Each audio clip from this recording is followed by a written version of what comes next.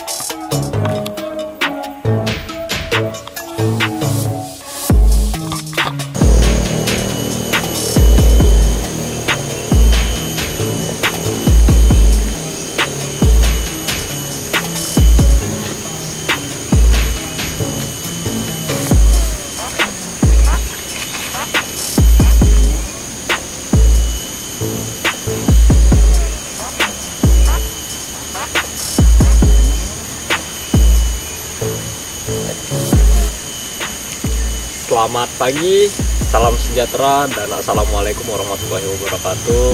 Semoga selalu sehat buat kalian dan di pagi ini selalu fresh dengan sebuah senyuman yang gembira ya. Oke, di sini Wisnu habis pulang dari eh apa ya di kebun karet habis nyadap getah ya. Jadi kebetulan lewat ketemu sama danau nih. Nah, di danaunya ini keren banget. Ada sisi-sisi unik tersendiri dan sisi-sisi seramnya di sini kenapa Wisnu bilang sangat seram?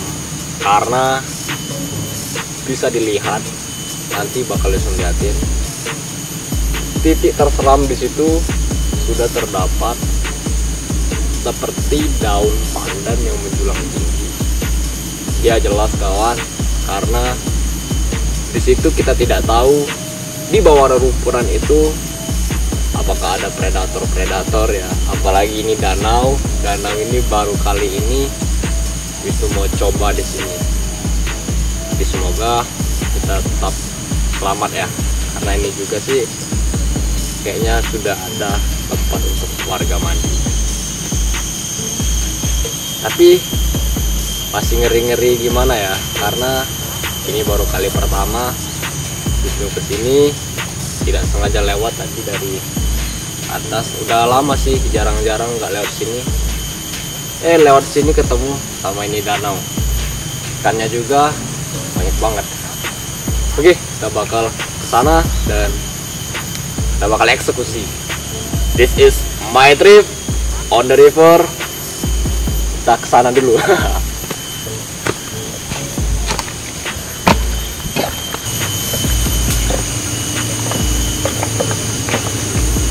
Ini dia kita sudah sampai di danau nya ini tempat sudah disiapin. Memang sepertinya ini pangkalan atau tempat warga sekitar mandi. Tapi ini jauh dari pemukiman warga. Tuan Wisnu pagi-pagi baru ke sini nih karena lumayan capek kita habis olahraga di kebun karet. Ya di sini keren sih unik banget. Sisi mistiknya dapat sisi seramnya seram predatornya itu ya. Itu bisa dilihat dapat banyak banget. Karena kita tidak tahu kata Wisnu tadi apakah ada predator apa di dalam itu jadi kita harus selalu waspada dan selalu hati-hati. Sangat disayangkan. Di sini ada sedikit sampah ya. Tapi ini bukan sampah. Apa ya? Itu karena sampah buangan mungkin dari sungai seberang sana. Kita ada aliran di atas tuh dari sungai seberang ngalir ke sini. Jadi masuk. Tapi nggak apa-apa kita bakal eksekusi dan kita bakal cari tahu apa aja yang ada di dalam danau ini.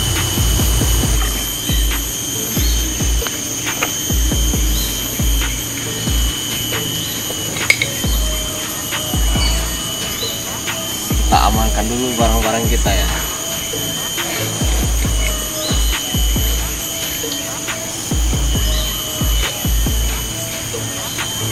Di sini suasana paginya embunnya masih banyak banget. Masih lumayan tebal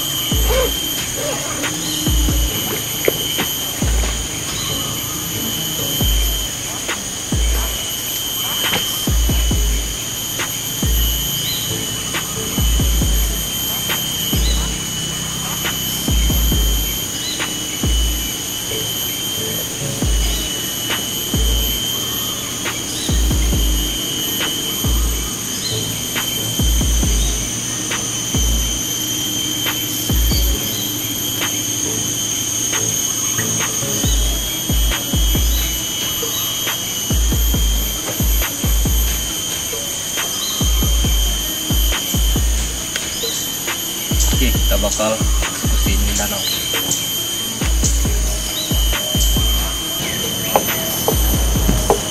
Ya di sini fasilitasnya lumayan lengkap karena ada atas ada tempat duduk bawah juga.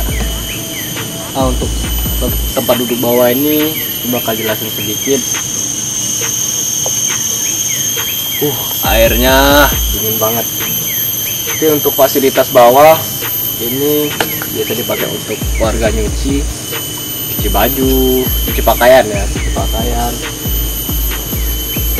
Cuci piring juga bisa kalau ada yang mau bawa di sini. Nah di sini bisa lihat lumayan lumayan sih. Ada sampahnya. Inilah kawan-kawan. Kita tuh harus menjaga alam ya. Harus apa sih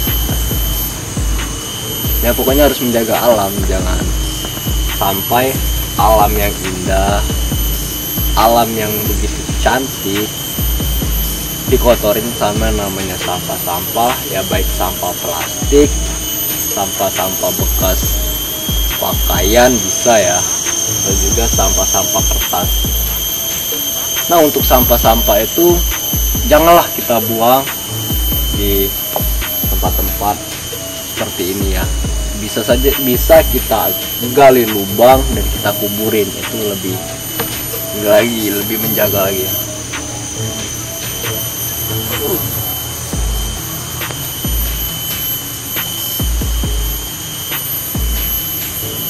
kok ini suasana paginya? Tadi terang banget setelah wisnu turun duduk sini udah berubah cuacanya jadi mendung ya tapi nggak apa-apa lah. Nah, santai-santai dulu di sini.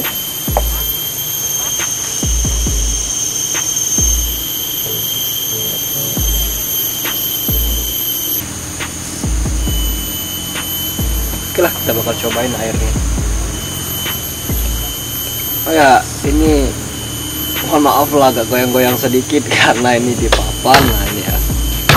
Papannya ini ya kalau lah papan di air tuh gimana? Kan tahu kan tadi wih udah cerah lagi Ah.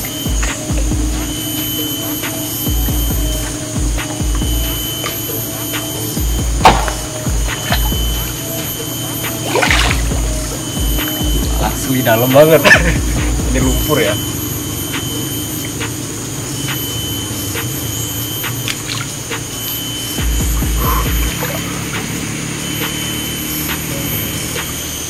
ini ini Wisnu nginjek kayu. Gila dalam banget. Ini tidak terdeteksi. Dalamannya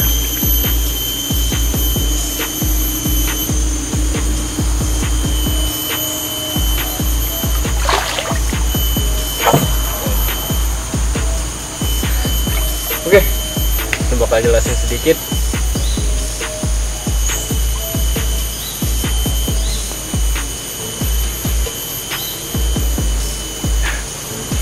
Ini ya, wajar aja. Wisnu nih sempet apa? Sempet yang namanya curiga sama ini air. Karena dilihat dari atas sana, ini air jernih banget, tapi agak gelap karena dalam ini dia ya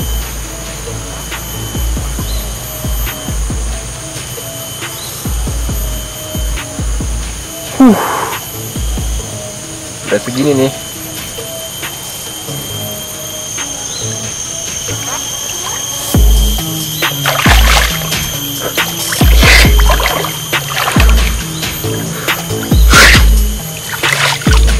Ini mantap banget. Dia ini apa? Untuk dasarannya itu berbentuk seperti ini. Nah gitu ya. Jadi dia di tengah-tengahnya itu dalam. Tapi setelah ke sana tuh kayaknya enggak karena udah kelihatan dasarnya tapi di sini nggak kelihatan. Ternyata banyak ikan gabus di sini. Besar kayaknya next bakal mancing di sini. Ya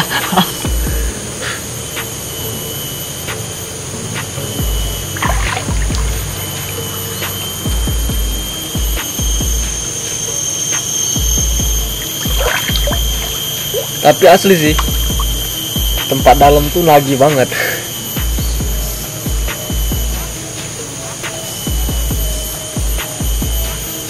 Pinggirannya aja seperti ini. Kalau ke dalam lepus hilang ya. Itu nggak bisa kita untuk cerita nih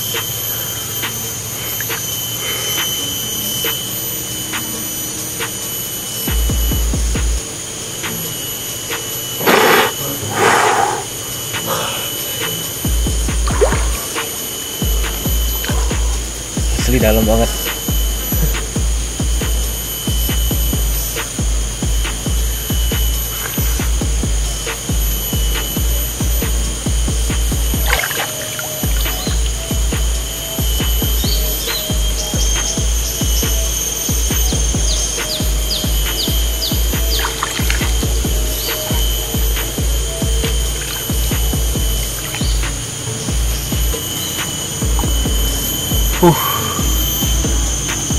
Sepertinya ini tempat sangat seram dan mengerikan. Ini juga udah cukup lumayan siang dan ada warga juga yang mau mandi di sini. Jadi, inilah kita gantian. Next kita bakal explore air yang lebih menantang lagi. Terima kasih buat kalian yang telah ngikutin terus perjalanan explore Wisnu. Salam lestari, salam explore mantap danaunya keren